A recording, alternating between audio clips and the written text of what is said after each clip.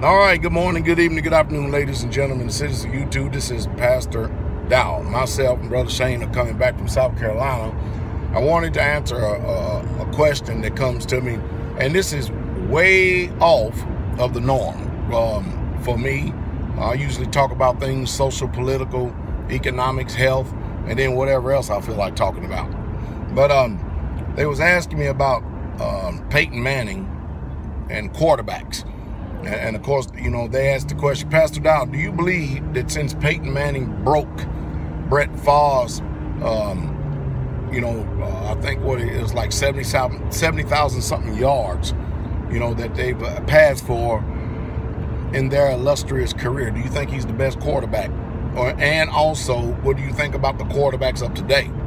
And of course, I know a, modern, a lot of you modern day people, you you know, you're getting ready to get really mad at Pastor Dowell. Uh, first of all, I do not think that Peyton Manning or Brett Favre are the best quarterbacks that ever played in the NFL. Matter of fact, I don't think they are nowhere near, uh, probably not even in my top. I know they're not in my top five at all.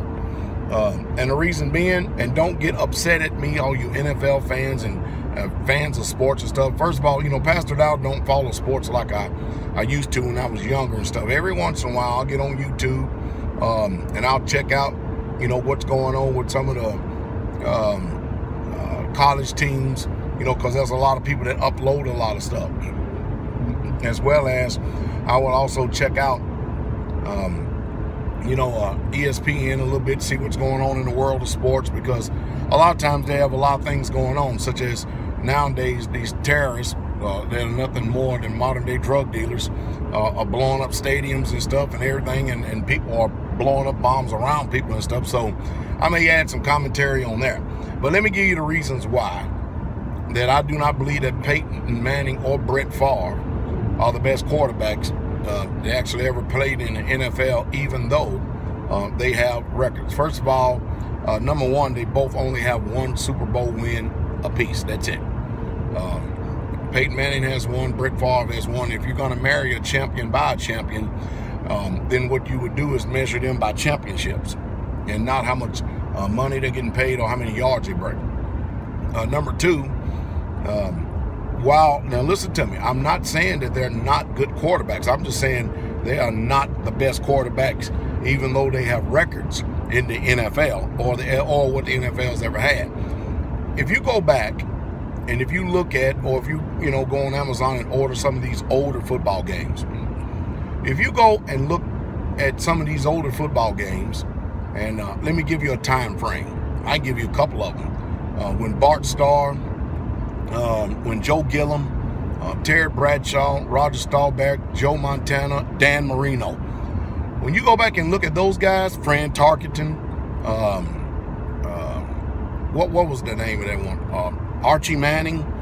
You go back and look at those guys when they played the quarterback position.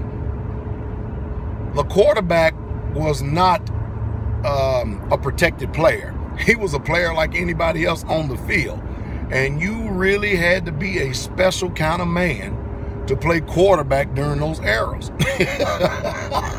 because those guys, they took a beating of their life. And then for them to get up and to keep on ticking, those guys were men of men of men. And today's quarterbacks are just simply not built like that. Who do I personally believe is the greatest quarterback? Um, I probably Joe Montana. Um, then I would probably go with Terry Bradshaw, and that's only based on championships. Um, my probably the best passer of all time would probably be Dan Marino. Um, and now I'm coming from an old school perspective again. Um, and you you can say the same thing about the receivers too. Go back and look at those video games. I mean video games, excuse me. Go back and look at those games. When you saw these quarterbacks and you saw these receivers back then, they took whippings. I mean, to be a receiver and catch a pass a long, long time ago, you literally had the cornerback piggybacking on you, all over you in order to catch the ball. And these quarterbacks, oh man. See, today, if you touch a quarterback, get a penalty. Um, they're protected species on that football field. Uh, I mean, people get fined for hits on quarterback. Helmet to helmet, that was a normal occurrence on a normal occasion in football. It was just part of it. That's the reason why he had a helmet on. Sure, people are suffering from it now with all the concussions and stuff, but what I'm saying, I'll, I'll put it like this our backyard football was tougher than what the NFL is today. And most of you have, if you have never played backyard football, I remember when I was in 82nd and we used to play um, tackle football. You know, we used to go down, you have one company and they have some people out there and we meet up on a Sunday morning and we have, have our bandanas on and we just get after it. The only referees was the, us out on the field. We didn't like the call, we started fighting. That's the way it was. but we played football. Of course, you know, the general made a stop because too many people was going to sick call Monday morning because of broken arms, broken legs, uh, fractures, uh, sprains.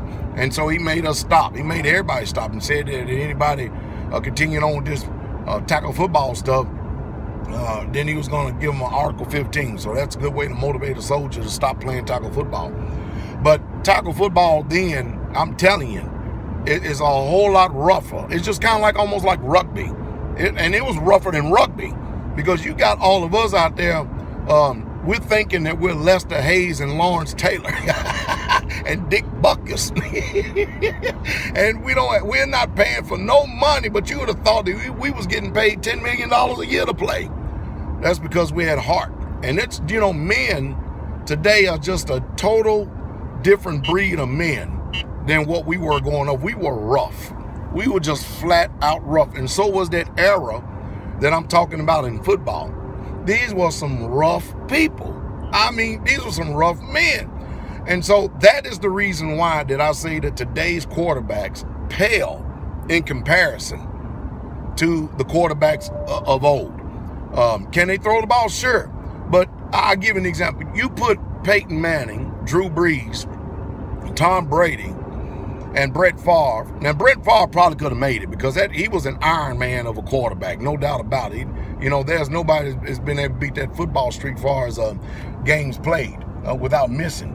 And that's something to be said. And there's something to be, that is something. But you put them in that era back there in the late 70s, the early 80s, or even in the mid 80s, they wouldn't, they would, they wouldn't, hey, they couldn't even stay on the field. Uh, they would be out if not their careers cut extremely short because today they're used to not getting hit. And if they do get hit, they get up crying and carrying on and all this old other stuff. But they just simply cannot take the punishment and the abuse that Dan Marino, and he threw for 5,000. Hey, when he threw for 5,000 yards then, whoo-wee, when Dan Marino threw for 5,000 yards then, he threw for 5,000 yards because they didn't have all these rules and all these regulations protecting them and the receivers. They didn't have all that. Um, I'm telling you, it was just rough back then. Of course, you know, most people are going to disagree with me, especially if you're not from our era, because you just simply don't know. You simply don't know. Are the athletes bigger and stronger and faster? Yeah, but the quarterbacks are not. Mm-mm. No, they're not.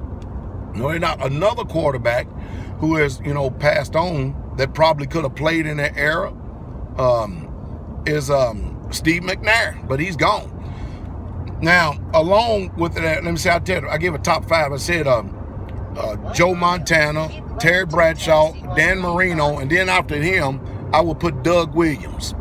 Um, uh, that would be uh, who I would call my top. Matter of fact, that's only four quarterbacks, I think.